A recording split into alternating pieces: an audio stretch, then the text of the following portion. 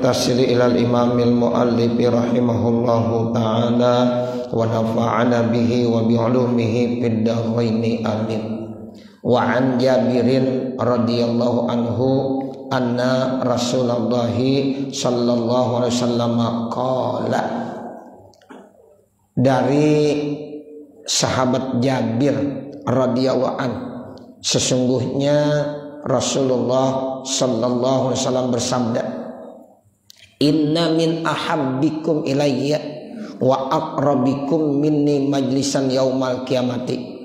Sesungguhnya di antara kamu yang paling saya cintai dan yang paling dekat dari saya duduknya posisinya nanti di hari kiamat. Jadi kata Nabi orang yang paling saya cintai dan yang paling dekat nanti duduknya sama saya makomnya sama saya nanti di hari kiamat. Siapa? Ahasinukum. Ya, dari ahsan ya itu isim tabdil. Zamannya ahasin ya. Jadi ahasinukum akhlaqo yaitu orang-orang yang paling bagus akhlaknya di antara kamu. jadi orang yang paling dicintai sama Nabi Muhammad Sallallahu Wasallam dan yang paling dekat makomnya tempat duduknya dengan Nabi Muhammad SAW nanti dari kiamat siapa yaitu mereka di antara kamu yang paling bagus akhlaknya Tuh, makanya budi pekerti itu di atas segalanya. Akhlak nomor satu. Orang kalau sudah memiliki akhlak, masya Allah itu dicintai sama Nabi sehingga dijanjiin tuh orang nanti bakal paling dekat posisinya sama saya saat duduknya. Tuh orang yang paling dekat, masya Allah nggak ada lagi yang paling mulia. Ya, seperti itu. Jadi apa ya amalannya cuma satu memiliki akhlak yang paling bagus, memiliki budi pekerti yang paling bagus. Ya, makanya Nabi bilang innama bu istuli utamima makarimal akhlak. Jadi tujuan utama Nabi diutus untuk memperbaiki akhlak, sikap dan perilaku manusia. Sebetapapun pinternya manusia, kalau nggak punya akhlak, nggak ada artinya sama sekali. Ya, makanya kita ayo belajar memiliki akhlak, akhlak yang terbaik, akhlak kepada Allah, akhlak kepada Rasulullah, akhlak kepada sesama manusia, akhlak kepada guru bagaimana, akhlak kepada teman bagaimana, akhlak kepada orang tua bagaimana, akhlak kepada anak bagaimana. Nah, itu tuh diatur di dalam ajaran agama kita. Nah, kalau seandainya kita memiliki akhlak yang paling bagus, ya maka nanti kita termasuk yang paling dicintai sama Nabi Muhammad sallallahu alaihi wasallam. Dan yang paling dekat posisi tempat duduknya di hari kiamat dengan Nabi Muhammad sallallahu alaihi wasallam. Wa inna abghadakum ilayya wa ab'adakum minni yaumal kiamati. Dan sesungguhnya yang paling saya benci di antara kamu dan yang paling jauh dari saya posisinya nanti dari kiamat siapa? Kebalikan ini. Yang paling dibenci sama Nabi yang paling jauh posisinya dari kiamat ya dengan Nabi Muhammad tempat duduknya dengan Nabi Muhammad ternyata asar sarun tuh. Apa sih asar sarun asar sarun itu artinya kalau menurut kita tuh banyak bicaranya. Tuh orang yang banyak bicaranya yang kedua wal mutasaddikun, orang yang banyak ngobrolnya. Tuh yang suka ngobrol, yang enggak keruan, ya ngobrol, ya ke mana aja omongannya.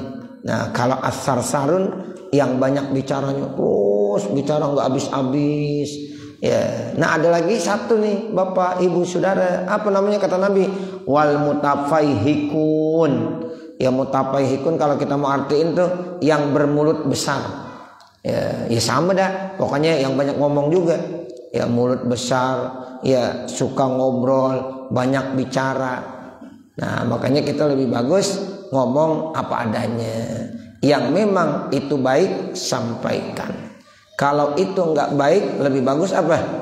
Diam. Kan hadisnya itu udah apal tuh. Man kana yu'minu billahi wal yaumil akhir falyakul khairan au liyasmun.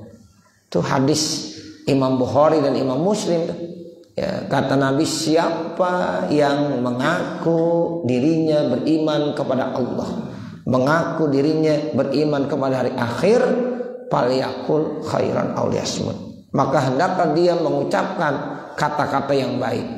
Jadi ngomong kalau baik silahkan. Ya itu ada manfaatnya.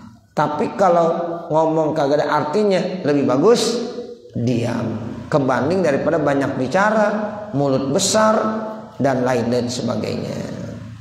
Kalau mereka para sahabat bertanya, Ya Rasulullah, wahai Rasulullah, pada alimna as-sarsarun. Sungguh kami udah kenal yang namanya sarsarun wal mutasaddikun. Kami juga udah paham tentang al mutasaddikun.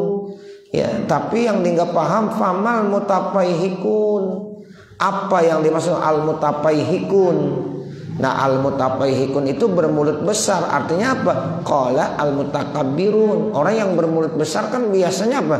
Sombong tong kosong nyaring bunyinya tuh begitu jadi mulut besar itu mulut besar bahasa Indonesia kinaya ya orang yang banyak ngomongnya tapi ya omongannya isinya kesombongan hanya membangga banggakan dirinya dia mulu orang lain kagak pernah ada buat dia doang ini saya orang yang begini yang begini begini begini ya itu namanya orang yang bermulut besar Kata Nabi al mutapaihikun itu maksudnya al mutakabbirun. Orang-orang yang takabur. Takabur itu orang yang som sombong.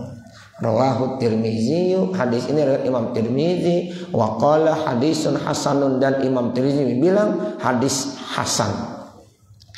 Wasarsaru sekarang artinya sarsar huwa kasirul kalami takalupan. Tuh kasirul kalam artinya kan yang banyak bicaranya. Takalupan itu dibuat-buat. Tuh, takalub namanya. Terus dibuat-buat sehingga omongannya jadi banyak. Yang mesti ngomong cukup ya lima menit sama dia dibuat jadi setengah jam. Nah seperti itu. Ya, jadi artinya takalub dibuat tuh omongan jadi banyak. Wal mutasaddiku sementara al mutasaddik artinya ma al mutatawilu ala nasi bi kalamihi yang panjang ya di hadapan manusia omongannya itu artinya yang ngobrol banyak ngobrolnya ya, itu namanya mutatawil panjang bener ya alam nas di hadapan manusia bikalami ngomongnya wa yatakallamu bimil ifihi tapasuhan wa ta'ziman di kalami dan dia bicara penuh ya di dalam mulutnya itu dengan kepasehan dan kemuliaan ya dan mengagungkan omongannya. Jadi omongannya isinya membangga-banggakan takzim ya begitu terhadap dirinya.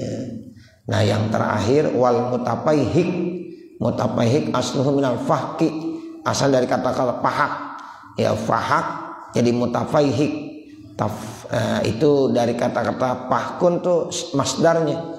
Wahwa al imtila'u yaitu imtila. Imtila itu artinya ya luas. Wahwa yaitu alazi yang lauqamahu yang luas mulutnya. Artinya kan luas mulutnya bil kalami besar mulut biasanya. Ya atau disebut bermulut besar.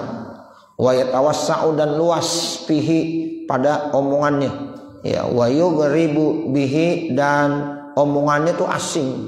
Ya membanggakan takabburan karena takabur makanya kata Nabi al mutakabbirun itu al mutapaihikun orang yang sombong. Ya takaburan wartifaan dan tinggi terus. Wa izharon lil fadilati ala ghairihi dan menunjukkan dia lebih utama atas yang lainnya. Warawat Tirmizi an Abdullah bin Mubarak dan telah meriwayatkan Imam Tirmizi yang datangnya dari Abdullah bin Mubarak. Rahimahullah semoga Allah memberikan rahmat buatnya fi tafsir husnul khuluq tentang penjelasan husnul khuluq. Apa yang dimaksud dengan husnul khuluq? Berbudi pekerti yang bagus. Kala dia ya yang dimaksud husnul khuluq tolak wajhi. Tolak wajhi itu artinya mukanya senyum. Ya, jadi kalau ketemu orang nggak merengut, senyum dia. Itu tolakatul wajhi. Nah itu ahlaknya bagus tuh. Makanya kita kalau ketemu, assalamualaikum, senyum. Walaupun di rumah lagi marah, begitu. Di rumah lagi marah-marah, ya sampai di musola. Tapi di musola ketemu teman senyum. Jangan rumah lagi marah dibawa-bawa, ya sampai di musola merengut terus ketemu orang. Nah jangan. Ya jadi tolakatul wajhi. Ya, senyum mukanya. Itu ahlak tuh pak. Makanya kata Nabi atabassum sodako senyum sodako kita senyum aja udah sodako berarti dapat pahala nggak? Dapat. Nih kita ketemu sama teman-teman nih semua masya Allah. Ini nilai yang sangat bagus. Kita ketemu kita musopah belum musopah aja udah senyum. Assalamualaikum. Waalaikumsalam. Udah. Itu ahlak yang terbaik nah seperti itu Jangan diem aja, merengut aja. Ya jangan nggak boleh. Ya sehingga orang nanti bisa salah sangka, di ngapa sih sama gue marah ya? Nah begitu. Jadi kita tampakkan wajah, ya wajah yang manis. Itu namanya tolak kotul wajhi. Kemudian yang kedua wabazlul ma'rufi mencurahkan segala kebaikan-kebaikan yang ada pada diri kita kita berikan buat orang lain. Itu namanya bazlul ma'ruf. Ya jadi menyerahkan sesuai dengan kemampuannya. Ma'ruf. Ma'ruf itu kebaikan-kebaikan. Makanya ya kita melaksanakan amar ma'ruf nahi munkar juga termasuk sodako nah yang terakhir akhlak juga nih termasuk akhlak yang terpuji kaful aja menahan dari nyakitin orang. Jangan sampai kita nyakitin orang. Ya kita kagak bisa melakukan kebaikan buat orang lain. Minimal jangan nyakitin dah. Kita nggak bisa memuliakan orang lain. Minimal jangan jelekin orang. Tuh itu akhlak namanya.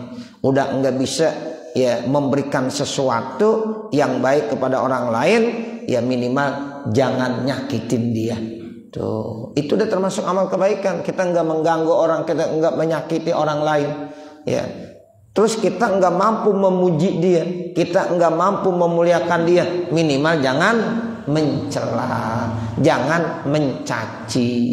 Nah itu namanya akhlak yang terpuji. Selesai itu Bapak Saudara terkait tentang husnul khuluq. Sekarang masuk bab lain. Babul hilmi wal anati war ribki. Ini bab menerangkan hilim. Hilim itu artinya ya lapang dada santun orangnya hilim lapang dada santun wal anati anat itu artinya nggak tergesa-gesa ya sabar ya ya anah itu artinya sabar. Orang kalau sabar kan kelihatan nggak gerasak gerusuk gitu. Kalau kata orang kampung baru kagak gerasak gerusuk. Ya artinya nggak tergesa-gesa. Ya, kita mau ibadah nggak boleh tergesa-gesa. Ya anah jadi artinya disabar Makanya kita kalau lagi mau sholat jamaah walaupun udah komat dari rumah jangan pakai lari. Ya, jangan pakai lari Bapak Saudara ya. Ya, kalau kagak mau ketinggalan datang dari awal. Ini sengaja nunggu komat, pas komat lari-lari. Ya, entah kalau kesandung siapa yang ini repot kalau jatuh. Ya, jadi kita jalan biasa aja. Ya, udah mau ruku Ustaz. Ya, udah nggak apa-apa jalan biasa. Sehingga entah pada saat takbiratul ihramnya kagak ngos-ngosan. Kalau kita lari ngos-ngosan nggak kira-kira? Allah, nah begitu. Iya, jadi tetap kita jalan aja. Ya, kita takbiratul ihram harus supaya Allahu Akbar tenang. Ya, itu namanya apa? Ya, sabar. Jadi jangan tergesa-gesa. Walaupun saat itu kita mau sholat jamaah udah ketinggalan. Ya, nanti kalau ketinggalan tinggal ditambahkan. Sebab mendatangkan kehusuan itu yang lebih diutamakan. Jadi kalau kita berlari Pak, kemudian kita sholat, pasti otomatis kita tergesa-gesa capek. Ya, ada rasa nggak khusyuknya. Nah, seperti sementara mendatangkan kehusuan di dalam sholat itu sangat penting ya, sehingga perlu ada kesabaran, ada anah namanya. Waripki ada lagi ripik. Ripik itu apa artinya? Ramah, lemah, lembut, ripik namanya Ini akhlak Nabi semuanya. Nabi itu santun, Nabi itu sabar, Nabi itu ramah. Tuh, walaupun ada orang berbuat kasar kepada dia. Walau kunta pazzan ghalizal qalbi lan padumin haulik. Tuh, ada ayat Al-Qur'an begitu. Ya, jadi Nabi itu sikapnya selalu ramah, santun, sabar. Kalau Nabi kasar, Nabi bersifat nggak baik, maka umatnya pada lari dari Nabi. Nggak ada yang mau deketin Nabi. Nah, kenapa Nabi berhasil di dalam dakwanya hanya ya 10 tahun di Madinah, 13 tahun di Mekah. Kalau kita mau jumlahin hanya 23 tahun Nabi, tapi berhasil dakwanya sampai saat ini. Ya, Islam terus bercahaya di mana-mana di seluruh dunia. Hanya 23 tahun Nabi menyebarkan dakwah Islamiyah itu keberhasilan Nabi karena akhlaknya yang terpuji. Tuh begitu ya. Qala Allah Ta'ala Allah Subhanahu wa taala berfirman wal kaziminal ghaidha wal 'afina 'anil nas wallahu yuhibbul muhsinin. Di dalam surah Ali Imran ayat 134 Allah bilang wal kaziminal ghaidha ciri orang-orang yang baik yang bertakwa itu siapa al kaziminal ghaiz orang yang bisa menahan emosi tuh kaziminal ghaiz itu artinya orang yang bisa menahan emosi mestinya bisa marah. Ya bisa marah tapi ditahan emosinya ditahan marahnya dia nggak mau marah. Nas. Yang kedua memberikan maaf kepada orang lain. Nah Allah bilang wallahu yuhibbul muhsinin. Allah suka kepada orang-orang yang muhsinin, orang yang senantiasa melakukan kebaikan-kebaikan. Itu orang yang suka menahan emosi termasuk muhsinin, dia udah melakukan kebaikan. Orang yang memberikan maaf kepada orang lain itu juga muhsinin, orang-orang yang selalu melakukan kebaikan. Nah, ini terdapat dalam surah Ali Imran ayat 134. Wa qala ta'ala dan Allah Subhanahu wa taala berfirman khuzil afwa berikanlah maaf wa'mur bil urfi perintahkan melakukan kebaikan wa'arid anil jahilin berpalinglah kamu dari orang-orang yang bodoh terdapat dalam surah Al-A'raf ayat 199 wa qala ta'ala dan Allah Subhanahu wa taala berfirman wala tastawil hasanatu wala sayyi'ah idfa billati hiya ahsan Tuh Allah bilang wala tastawil hasanatu wala sayyi'atu. Tidak sama kebaikan dan kejahatan. Tuh Allah bilang baik sama jahat tidak sama. Ya, ada bedanya. Ya, la tastawil hasanah kebaikan tidak sama wala sayyi'ah kejahatan sama kebaikan tidak sama. Idfa billati hiya ahsan. Tolaklah kejahatan tersebut dengan cara yang terbaik. Tuh. Jadi kata Allah ini baik, ini jahat, beda jauh sekali. Nah, kita kalau mau menolak kejahatan, bagaimana caranya? Dengan ahsan, dengan yang terbaik. Faizal ladzi bainaka faizan, maka tiba-tiba ya sekonyong-konyong kalau ngaji di Jawa faizan ujung-ujung. begitu. Izannya namanya izan pujaiyah. Ya, kalau kita ngaji di Jawa begitu deh ya faizan maka ujung-ujung ya alladzi bainaka yang di antara kamu wa bainahu dan di antaranya ada watun ada permusuhan. Ka'annahu waliyun hamimun. Seakan-akan dia itu ada teman yang setia. Jadi tetap dia tidak ungkapkan. Ya walaupun sebenarnya antara kamu dan antaranya ada adawah tapi ka'annahu seakan-akan dia wali. Ya wali itu artinya teman kekasih ya waliullah kan artinya kekasih Allah temannya Allah. Nah hamim. Hamim itu artinya setia. Ya teman yang setia itu namanya waliun hamim.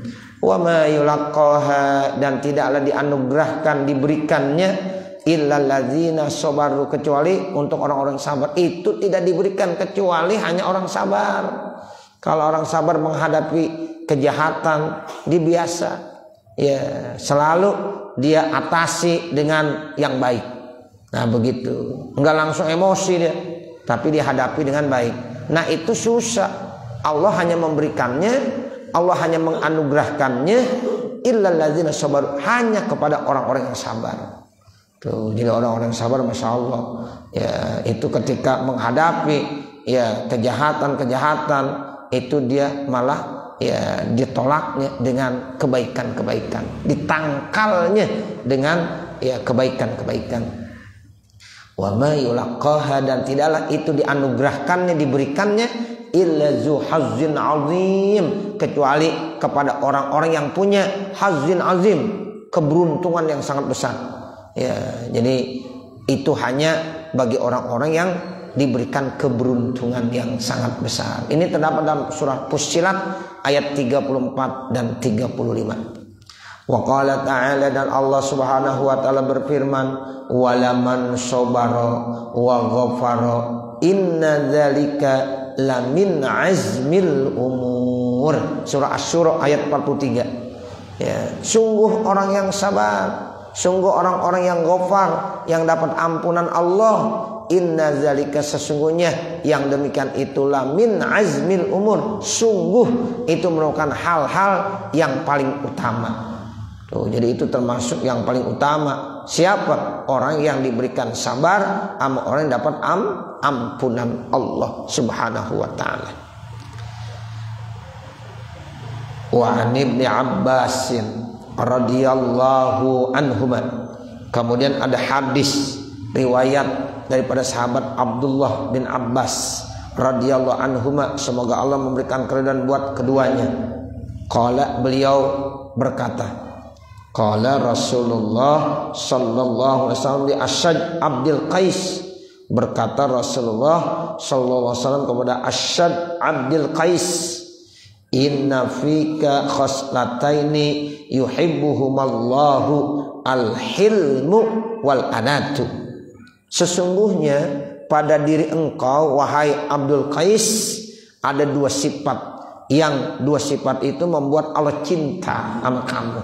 Tuh Nabi bilang begitu ke sahabatnya Abdul Qais dalam diri kamu ada dua sifat. Yang dua sifat inilah yang menyebabkan Allah cinta sama kamu wahai ya Abdul Qais. Apa? Kata Nabi al-hilmu wal anatu. Di dalam diri kamu ada hilim, santun, lapang dada, hilim. Ya, wal anatu yang kedua sabar. Dalam diri kamu ada dua tuh yang membuat Allah cinta sama kamu wahai Abdul Qais yaitu sifat santun dan sifat sabar. Tuh makanya kalau kita pengen dicintai sama Allah nih Bapak Ibu Saudara, maka dua sifatnya harus kita miliki, yaitu santun. Artinya kagak pernah ya marah sama orang. Ya Allah, ini orang kayaknya bener. Ada kadang-kadang kita lihat tuh jamaah-jamaah kita, teman-teman kita, kita lihat orang ya Allah hilim, santun banget. Demen kita ngelihatnya begitu. Ya dari penampilannya cakep banget udah. Nah itu helim namanya. Tuh gara-gara dia punya sifat begitu tuh ya Allah jadi cinta. Nah yang kedua sabar. Kagak gerasak gerusuk. Ya itu namanya anah. Ya sabar menyelesaikan berbagai macam persoalan dia tenang ya enggak tergesa-gesa nah itu namanya anah ya sabar Nah ini dua sifat yang baik pada diri kamu wahai Abdul Qais dan itu juga yang menyebabkan Allah cinta kepada kamu. Itu yang menyampaikan siapa? Nabi Muhammad sallallahu alaihi wasallam. Rawahu Muslimun. Hadis ini riwayat Imam Muslim. Wa ana Aisyah radhiyallahu anha. Kemudian ada hadis selanjutnya. Riwayat daripada Siti Aisyah istri Rasulullah sallallahu alaihi wasallam radhiyallahu anha. Semoga Allah meridhokan buatnya. Qala berkata Siti Aisyah radhiyallahu anha Qala Rasulullah sallallahu alaihi wasallam Rasulullah sallallahu alaihi wasallam bersabda innallaha rabbikun yuhibbur ribqa fil amri kullihi sesungguhnya Allah itu rafiq. Allah itu lunak. Allah itu enggak kasar. Tuh Allah lunak. Artinya Allah itu enggak kasar kepada manusia kepada makhluknya Allah bersifat ropik sehingga yuhibbur ribqa Allah itu suka ripik kelembutan kelunakan fil amri dalam segala persoalan kullihi semuanya. Tuh jadi Allah itu lunak Allah itu ya enggak kasar. Ya maka Allah cinta kepada yang lunak kepada yang lembut. Ya itu namanya sifat ripik di dalam segala urusan-urusannya tuh Allah cinta kepada yang yang maknanya kelembutan yang maknanya ripik ya ini hadis muttafaqun alaih. Ya, hadis ini disepakati oleh Imam Bukhari dan Imam Muslim. Wa anha dan juga dari Siti Aisyah radhiyallahu anha semoga Allah memberikan keridhaan buatnya anna nabiyya sallallahu alaihi wasallam qala sesungguhnya Nabi Muhammad sallallahu alaihi wasallam beliau bersabda Innallaha rafiqun. Sesungguhnya Allah itu rafiq Lembut lunak. Yuhibur rifqa Cinta kepada yang lembut. Wa yu'ti ala rifqa Wa yu'ti ala rifqi Ma la yu'ti ala unfi Dan Allah memberikan atas Ya apa Arifki dengan penuh kelembutan Malayukti yang tidak Allah berikan alal unfi atas orang yang penuh dengan kekerasan Tuh, jadi Allah cinta sama yang lunak, eh, santun. Kemudian Allah nanti akan memberikan kepada orang-orang yang santun, kepada yang lunak, yang tidak diberikan kepada orang-orang yang penuh dengan kekasaran. Ada orang yang sifatnya kasar, benar. Ya, itu ya Allah nggak suka tuh. Allah nggak akan memberikan. Nah Allah suka memberikannya kepada yang ripik, yang halus, yang lembut, yang santun wa ma la yu'ti ala masiwahu dan tidak ya apa yang tidak diberikan juga atas apa yang selainnya. Jadi emang kita dianjurkan untuk selalu bersifat ripik, santun, lembut ya kepada siapa saja sehingga Allah senang nanti Allah akan memberikannya dengan kelembutan karena Allah tidak suka dengan kekerasan. Rawahu Muslimun hadis ini riwayat Imam Muslim. Wa anha dan juga riwayat dari Siti Aisyah radhiyallahu anha anna nabiyya sallallahu alaihi wasallam sesungguhnya Nabi Muhammad sallallahu alaihi wasallam qala beliau bersabda inna rifqa la yakunu fi syai'in illa zanahu. Sesungguhnya kelembutan tidak akan ada pada sesuatu kecuali jadi indah. Tuh jadi kelembutan itu kalau ada pada sesuatu jadi indah. Tidak mungkin sesuatu itu bisa indah kalau di situ tidak ada kelembutan. Nah, jadi manusia kalau dalam hatinya ada penuh kelembutan, manusia itu jadi indah, jadi cakep. Karena ini termasuk akhlak. Ya, orang kalau punya sifat ripik, ya jadi indah. Itu namanya zanahu. Kecuali dia jadi in, indah, jadi cakep wala yunza'u min dan tidak dicabut dari sesuatu. Kalau sifat ripik dicabut dari segala sesuatu termasuk pada diri manusia illa kecuali jadi jelek orang itu. Tuh, kita kalau nggak punya sifat ripik, Pak, ya, sifatnya mau kasar mulu, bicara kasar, nggak enak udah didengarnya. Ya, itu yang ada pada diri kita berarti apa? Jelek, udah kejelekan. Gitu. Makanya kita sama istri harus punya lipik lembut sama istri. Istri sama suami harus punya ripik lembut sama suami. Kenapa? Tanpa ada kelembutan di antara suami istri, maka yang ada diri kita itu jelek semuanya. Nggak ada indah-indahnya.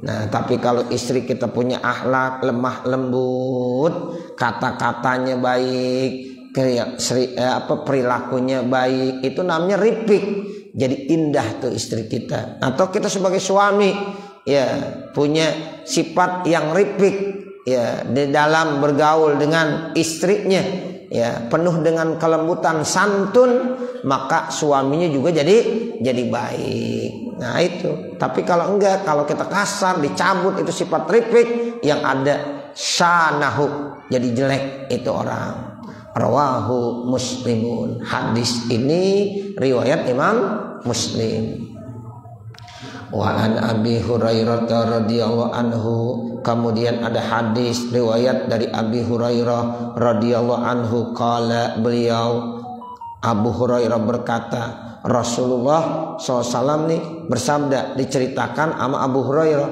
Abu Hurairah ya cerita tuh yang memang dilihat langsung saat itu. Ada Abu Hurairah, ada Nabi Muhammad. Nah, komentar nih Abu Hurairah dibilang begini kata Abu Hurairah, bala a'rabiyun fil masjidi. Yang bilang begitu Abu Hurairah tuh. Ya, karena Abu Hurairah ada saat itu kejadian itu dia memang ada lihat bersama dengan Rasulullah. A'rabi, A'rabi itu artinya Arab kampung. Ya, jadi A'rabi itu bala. Bala itu artinya kencing. Ya, bala A'rabiyun orang Arab Baduy, ya orang Arab kampung itu kencing. Di mana kencingnya? Fil masjidi di masjid. Namanya orang kampung ya. ya orang Arab gunung. Sampai di masjid dikencing karena sih kalau kencing di mana? Di WC sana. Iya. Eh sampai sini dikencing aja. Nah seperti itu. Pernah kejadian tuh begitu. Bala Arabun fil masjid. Jadi ya orang Arab kampung Baduy kencing di masjid. Pakoman nasu ilaihi. Maka manusia ngelihatnya pada bangun. Ya ngeliatin nih Arab Baduy. Liyaqaupihi untuk mukulin. Dia mau pukul tuh. Ya kan berarti kalau mukul lah kasar nggak kasar tuh. Ya ada orang datang sini sampai di musoal barokah dikencing ya apain tuh kira-kira pukulin? Jangan ya ini mungkin orang dari gunung kali datang ya nah begitu ya jadi Nabi nggak kasih. Ya, bagaimana? Jangan dipukulin jangan di ya marah-marahin. Namanya juga Arab kampung yang tidak tahu nggak paham. Nah seperti itu. Akhirnya apa kata Nabi? Pakalan Nabi sallallahu alaihi wasallam. Maka Nabi Muhammad sallallahu alaihi bersabda da'uhu biarkan aja dah. Tuh. Biarin aja. Wa ariku ala baulihi sajlan min ma'in. Kemudian tuangkan ariku dan tuangkan. Tuangkan aja. Ala baulihi di kencingnya itu sajlan min ma'in seember air. Dulu masjid Nabawi belum ada keramik. Belum begini cakepnya belum. Ya apalagi pakai karpet ya belum. Lah kalau kamu soal barokah kencing di karpet. Aduh kacau banget udah. Iya begitu. Makanya kadang-kadang kita kalau sholat bawa anak kecil tolong diperhatiin. Ini anak udah tamiz belum? Kalau anak udah tamis nggak apa-apa ajak ke masjid musola. Apalagi udah disunatin. Ya hitanin dulu. Anak kalau udah lima tahun sunatin dah. Enam tahun sunatin. Baru ajak ke musola ke masjid begitu udah tahu ya tentang najis ya tapi kalau anak-anak baru satu tahun dua tahun diajak ke masjid ke musola kencing iya nggak pakai pempes lagi kira-kira yang salah anak apa babanya yang salah anak apa babanya? Babanya. Anak memang gak salah. Namanya anak-anak ya. Anak-anak nggak ada salahnya. Jangan anak yang dimarahin. Anak paling bisanya nangis. Ya, begitu kali kencing biarin aja. Lah anak gak tahu apa-apa. Nah, babanya nih ente sih ya anak kecil dibawa Kan Ustadz biar ngenalin musola. Iya bener. Biar kenal musola sama masjid. Tapi jangan sampai begini nih. Lah ini pengurus musola karpet bagus begini. Bagaimana ceritanya? Karena beli lagi ya. Nah begitu. Jadi pakai pempes mestinya. Begitu. Kalau pakai pempes ya walaupun dia pipis juga enggak ngotorin. Iya kan? Begitu benar? Benar. Ya, jadi jangan anak disalahin, anak nggak salah. Ya, anak itu nggak berdosa, nggak bersalah. Apa pun yang dilakukan, anak-anak nggak ada salahnya. Nah, seperti itu. Ya. Nah, kalau di zaman Nabi orang gede, ya, Arabi, orang Arab tapi Arabnya Arab kampung, orang gunung. Yang kagak paham tata krama. Ya, kencing-kencing aja. Di masjid dikencing. Oh, bayangkan Bapak Ibu Saudara. Ya cuma saat itu masjid Nabawi belum ada karpetnya. Ya masjid Nabawi saat itu belum pakai keramik. Sehingga modelnya ya kalau dipipis siram aja pakai seember air. Itu nanti rembes terus ke bawah Ya begitu. Kita dulu rumah juga masih begitu kan ya. Dulu rumah masih pakai apaan? Mas kayak iya tanah pakai gergaji. Benar itu. Saya ngalamin itu dapur oh, pakai gergaji enak cakep itu ya. Ya pakai sapu lidi dah diketak-ketak begitu ya. Masya Allah begitu ya nah kalau pipis di situ ya tinggal disiram ya rembes terus ke bawah suci udah. Tuh masjid begitu disiram aja. Itu dulu awal-awal masjid Nabawi sejarahnya ya itu hanya ya tembok sama tembok dulu cuma digali sama parit. Digali aja. Gali ya itu pembatasnya parit. Seperti got gitu parit. Nah ini masjid yang dari parit ini ke sana luar masjid. Udah begitu doang.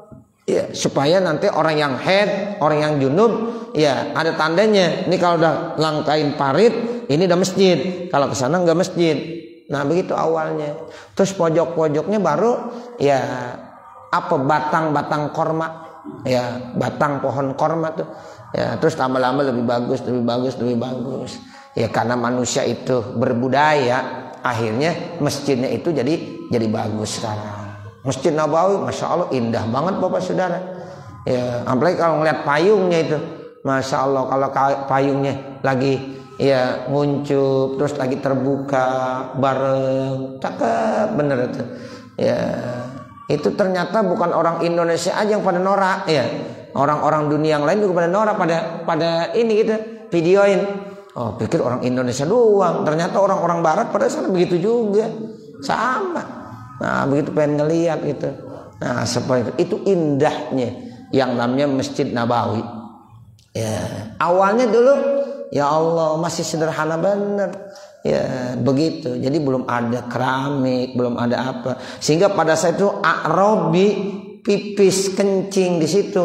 Tuh manusia banyak tuh jamaah. Ya, sahabat-sahabat banyak yang mau marah, bahkan ada yang mau memukulnya tapi Nabi bilang da'u biarkan saja wa ariku ala bauli sajdan min ma'in nanti tuangkan aja di atas kencingnya sajlan min ma'in seember. Ya air. Terus sajdan artinya dalun ya seember. Seember air. Ya auzanuban atau satu gayung min ma'in dari air. Satu gayung satu ember dari air. Itu begitu karena dia emang meresep. Tapi kalau seandainya yang namanya lantai pak, jangan begitu caranya. Kalau ada eh, pipis di sana atau kotoran di lantai, kemudian kita siram aja nggak boleh. Kalau kita siram itu pipisnya ke mana-mana, ya akan menambah najis. Bagaimana caranya? Cara mencuci najis dari najis ainiyah robah dulu menjadi najis hukmiyah. Tuh, ada tai ayam atau kotoran ayam jangan langsung disiram ya salah ini kalau langsung disiram. Berarti tai ayamnya ke mana-mana. Airnya najis semuanya. Berarti ambil tisu itu kotoran ayamnya dibuang. Buang dulu bersihin lagi gosok-gosok sampai warna bau dan rasanya hilang sehingga itu menjadi najis hukmiyah. Nah kalau udah menjadi najis hukmiyah baru ambil air segayung baru bersihkan. Itu caranya ya di rumah juga begitu. Ya yang namanya najis itu mesti najis ainnya dirubah dulu menjadi najis hukmiyah. Dari najis hukmiyah baru disiram dengan air. Jangan dielap. Ada najis. Udah najis hukmiyah kita elap. Iya melebar najisnya. Kemudian itu lapannya kita kucek-kucek tuh. Di mana? Di ember. Air yang di ember jadi najis. Kita bersihin lagi kamar kita pakai ya lap yang tadi tambah najis. Karena air yang udah di ember semuanya udah najis. Nanti kita sholat di situ. Jadi kita sholat di tempat yang najis. Sejadahnya kita taruh di situ. Kita injak. Berarti kita nginjak sejadah. Sejadahnya jadi najis. Tuh gara-gara kagak ngaji. Ya, sholatnya sangkanya udah bener terus. Ya, padahal tiap hari sholat dengan najis. Itu yang akhirnya ya kata Nabi, nih kubur orang ini lagi disiksa. Kenapa? Karena enggak ngerti istinja. Tuh, enggak ngerti mencuci nah, najis. Makanya Bapak Saudara di rumah tolong perhatiin yang namanya najis. Ya, saya selalu pesan kalau di kamar mandi pakai sendal. Ya, jangan sampai di toilet nggak ada sendal. Sayang sayang ibadah kita. Ini saya selalu pesan di mana-mana di majlis-majlis taklim saya. Tolong bapak ibu kamar mandi pakai sendal yang bersih khusus di kamar mandi aja. Keluar udah nggak ada lagi sendal yang di kamar mandi. Kalau mau pakai di sendal yang di dalam khusus di dalam, yang di kamar mandi khusus di kamar mandi. Ya kalau kita udah dari kamar mandi keluar udah suci nggak apa-apa ya itu jadi jangan sampai kita ke kamar mandi nggak pakai sendal nanti kotoran nyampur sama air diinjak sama kita nggak akan bersih ya nah bagaimana sholat kita ya nah ini yang dikatakan sholat mesolat tapi akhirnya ya dia disiksa di dalam kubur kenapa karena istinjanya mencuci najisnya tidak benar nih ajarin istri kita Ya begitu. Jadi kalau mencuci najis dari najis ainiyah rubah dulu menjadi najis hukmiyah. Kalau najis hukmiyah bukan dilap, harus diapain? Disiram. Tuh. Jadi mencuci najis tidak boleh dilap, dipel, tapi harus diapain? Disiram. Ini terkaitannya nanti dari najis jadi sholat. Begitu. Karena tadi tuh ya terkait dengan dengan sholat kita. Ya jadi kata Nabi siramin tuh seember air karena saat itu masjid Nabawi belum pakai keramik sehingga airnya masuk ke dalam merembes tinggal disiram aja merembes iya langsung au zanuban min ma'in atau satu gayung dari air. Fa inna ma buistum muyassirin. Maka sesungguhnya kamu dibangkitkan ini untuk memberikan kemudahan. Walam tum asu muassirin. Dan tidaklah kamu dibangkitkan dalam keadaan menyusahkan. Tuh jangan dipukulin orang. Jangan disakiti. Sebab kita diutus untuk memberikan kemudahan. Dia belum ngerti. Ya ini kata-katanya yasiru wala tu'assiru hampir sama fa innama buistum muyassirin walam tub'asu muassirin. Artinya yassiru wala tu'assiru. Berikan kemudahan. Jangan persulit. Nah begitu. Hadis riwayat Imam Bukhari. As-sajlu bi fathissin al-muhmalah wa iskanil jim. Artinya apa as-sijl ya as-sijl itu ya bi fathissin as-sajlu ya bi fathissin al-muhmalah wa iskanil jim. Jimnya disukunkan. Artinya adalu tam, ini apa? Aldalu uh, ember adalu itu ember al mumtaliatu ma'an. Yang embernya udah penuh dengan air. Seember air. Wa kadzalika begitu juga artinya az-zanub. Zanub itu bisa diartikan ember bisa diartikan apa? Gayung. Nah itu artinya begitu Bapak Saudara. Mengingat waktu udah isya cukup sampai sini. Nanti baru an anasin. Ditandai nih Bapak Saudara ya mungkin nanti kita bacanya habis lebaran dah ya. Nah begitu. Eh, minggu besok kita masih baca kitab ya irsyad sekali lagi ya. Nah nanti saya hari Kemisnya tanggal 23 mau berangkat umroh dulu ya. Jadi Kamis besok kita masih ngaji. Nah paginya doakan saya saya mau berangkat melaksanakan ibadah umroh. Nanti ya malam kemis waktu saya umroh libur dulu sekali. Nah kemudian malam kemisnya lagi ya baru kita tutup pengajian. Nah seperti itu. Jadi mungkin eh, minggu besok masih ngaji. Ya minggu besok masih ngaji terakhir. Nah kemudian nanti ya saya berangkat umroh mungkin ketemu dengan malam kemis sekali Nah itu kita liburkan. Nah setelah itu baru langsung kita tutup. Nah seperti itu. Begitu ya Bapak Ibu ya. Ya jadi kan mestinya kita mestinya tutup sebelum nispu. Ini mungkin udah nispu kali. Nispu kan malam rebo. Nah malam rebo nispu, malam kamis baru kita tutup pengajian. Nah seperti itu. Ya mudah-mudahan ya apa yang kita baca pada kesempatan ya malam hari ini ada manfaatnya. Amin ya rabbal alamin wa sallallahu ala sayyidina Muhammadin wa ala alihi wa sahbihi wa sallam walhamdulillahi rabbil alamin al-fatihah a'udzu billahi minasyaitonir rajim bismillahir rahim alhamdulillahi rabbil alamin arrahmanir rahim maliki yaumiddin iyyaka na'budu wa iyyaka nasta'in ihdinas siratal mustaqim siratal ladzina an'amta 'alaihim ghairil maghdubi 'alaihim waladdallin Rabbi firli wali walidayya. Rabbi firli wali walidayya. Rabbi ighfirli wa liwalidayya warhamhuma kama rabbayani shaghira Bismillahirrahmanirrahim. Alhamdulillah Rabbil Alamin. Hamda yuwafi ni'amahu yukafi mazida Ya Rabbana lakal hamdu wa lakas syukur Kama yambaghi li jalali wajhikal karim Wa azimi sultanik. Subhanaka la nuhsi sana'an alaika Kama asnait ala nafsik. Balakal hamdu hatta tarda. Allahumma salli ala sayyidina Muhammad Wa ala ali sayyidina Muhammad.